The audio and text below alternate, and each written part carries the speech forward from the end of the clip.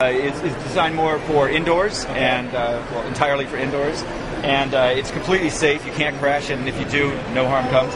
Basically, the kits, uh, which, which are here, they come with the with the, the gondola, the envelope, and this and this ground station. Basically, what it is is it's either fully autonomous, like this.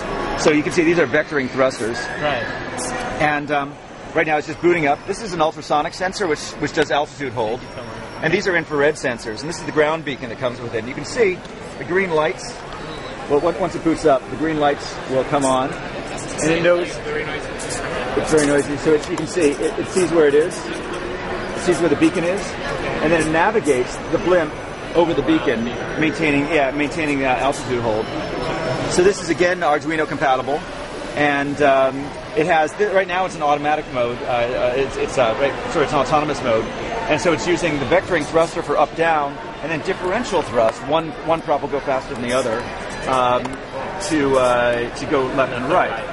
Now um, you can also work it in radio control mode. So what you do is you just put in put in any kind of radio control receiver like this, and plug it in, and it auto recognizes it's in radio control mode, and then you can fly it manually.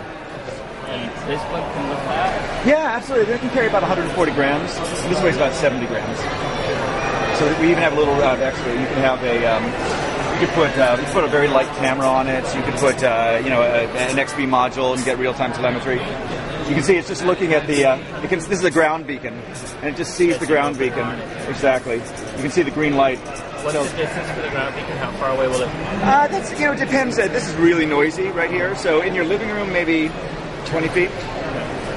Um, and it's just gonna, it's just maintaining its altitude. You can see.